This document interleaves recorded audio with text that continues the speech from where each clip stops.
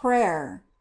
Oh queen and mother of mercy, who dost dispense graces to all those who have recourse to thee, so liberally because thou art queen, and with so much love because thou art our most loving mother, to thee I commend myself to day, destitute of merits and virtues as I am, and laden with debts to the divine justice.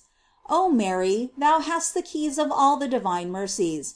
Do not forget my miseries, and do not leave me in my great poverty. Thou who art so liberal withal, and who givest more than is asked of thee, do so with me, oh Lady, protect me, this is all I ask. If thou dost protect me, I fear nothing. I do not fear the demons, for thou art more powerful than all the spirits of hell; nor my sins, for one word of thine in my behalf can obtain pardon of them all from God. If I have thy favor, I do not fear even the anger of God, for he is appeased by one prayer of thine. In a word, if thou dost protect me I hope all things, because all things are possible with thee.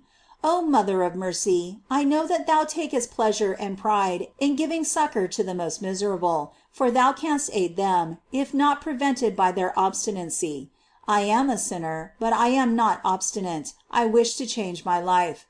Thou canst then help me, do help and save me. To day I place myself entirely in thy hands. Teach me what I must do to please God, and I will do it; and I hope to do so with thy aid. Oh Mary, Mary, my mother, my light, my consolation, my refuge, and my hope. Amen, amen, amen.